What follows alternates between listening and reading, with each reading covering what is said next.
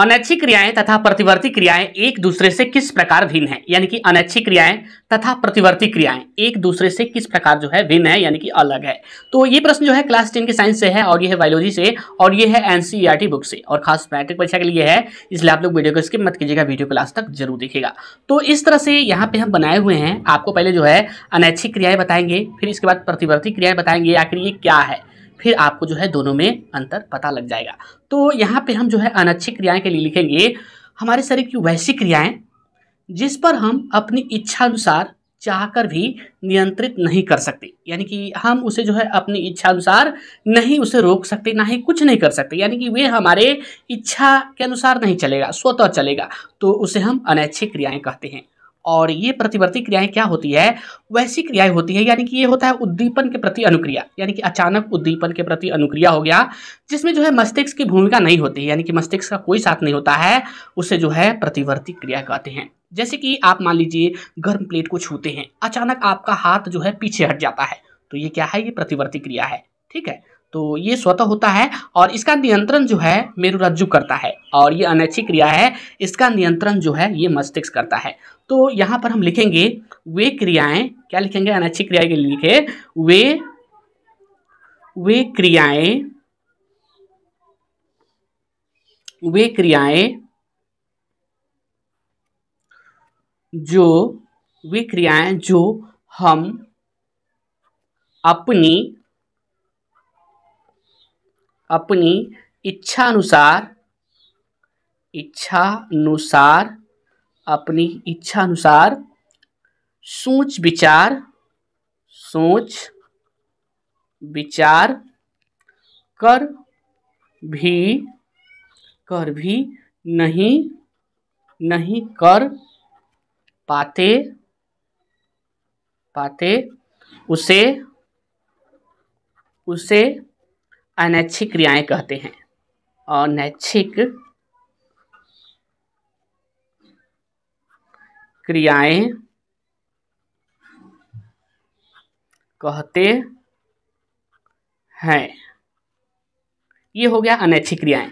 जैसे जैसे आपका जो है, जैसे हृदय स्पंदन, जैसे कि हृदय आपका जो है, रक्त साफ़ करता है, क्या आप इसे इच्छा के अनुसार चला सकते हैं? नहीं। तो जैसे कि हृदय स्पंदन। हृदय स्पंदन। हृदय स्पंदन। ठीक है, ये हृदय स्पंदन जो है, ये अनच्छी क्रियाएँ हैं।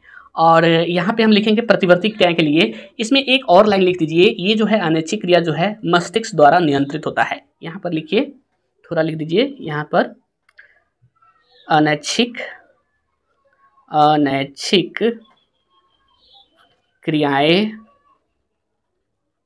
मस्तिष्क मस्तिष्क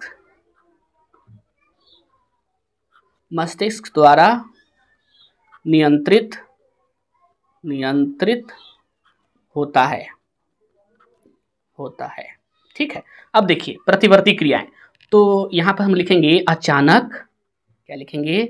अचानक अचानक उद्दीपन उद्दीपन उद्दीपन के प्रति प्रति अनुक्रिया।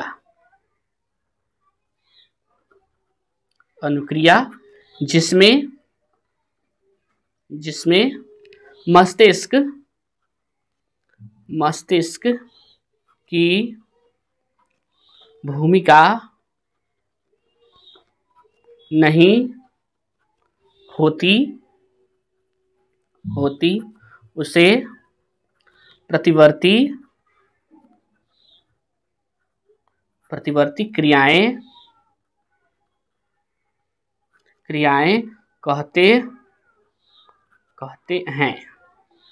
जैसे जैसे गर्म गर्म वस्तु वस्तु के छूने छूने पर हाथ हाथ का पीछे हटना। ये क्रिया जो होती है प्रतिवर्ती क्रिया, ये जो होता है मेररज्जु द्वारा जो है, ये नियंत्रित होता है। तो ये जो है, ये मस्तिष्क द्वारा नियंत्रित होता है नैचिक क्रियाएँ, और प्रतिवर्ती क्रिया मेरुरज्जु द्वारा नियंत्रित होता है। तो यहाँ पर हम लिखेंगे प्रतिवर्ती, क्या लिखेंगे? प्रतिवर्ती क्रियाएँ क्रियाएँ मेरुरज्जु मेरुरज्जु द्वारा नियंत्रित नियंत्रित होती है। इस प्रकार जो है, एक दूसरे से दोनों अलग है। अगर पूछा जाए, अनैच्छिक क्रियाएँ तथा प्रतिवर्ती क्रियाएँ एक दूसरे से किस प्रकार भिन्न है, यानी एक दूसरे से किस प्रकार अलग है तो आप लिखिएगा अनैच्छिक क्रिया, पहले लिखिएगा, और उसके बारे में लिखिएगा वे क्रियाएँ जो हम अपनी इच्छा अनुसार सोच विचार कर भी नहीं कर पाते। यानी कि वैसी क्रियाएँ जिसे हम जो है अपनी इच्छा अनुसार सोच विचार कर नहीं कर पाते, उसे अनैच्छिक क्रियाएँ कहते हैं। उसे जो है अनैच्छिक क्रियाएँ कहते हैं, जैसे कि हृदय स्पंदन, यानी कि हृदय का धड़कना। अब देखिए, अनैच्छिक क्रियाएँ मस्तिष्क द्वारा नियंत्रित होती है। यानी कि अनैच्छिक क्रिया जो होता है, वो मस्तिष्क द्वारा नियंत्रित होता है। ये अनैच्छिक क्रिया हो गया। अब देखिए प्रतिवर्ती क्रियाएँ। अचानक उद्दीपन के प्रति अनुक्रिया, जिसमें मस्तिष्क की भूमिका नहीं होती, उसे प्रतिवर्ती क्रियाएँ कहते हैं। उसे क्या कहते हैं? प्रतिवर्ती क्रियाएँ। जैसे गर्म वस्तु के छूने पर हाथ का पीछे हटना। जैसे कोई गर्म वस्तु को छू दिए तो हाथ पीछे हट गया। ये क्या हो गया? ये प्रतिवर्ती क्रियाएँ हो गया, ठीक है? प्रतिवर्ती क्रियाएँ मेररज्जु द्वारा नियंत्रित होती है और प्रतिवर्ती क्रियाएँ जो होती है मेररज्जु द्वारा नियंत्रित होती है, ठीक है? और ये जो है, ये अनैच्छिक क्रियाएँ, ये मस्तिष्क द्वारा नियंत्रित होती है।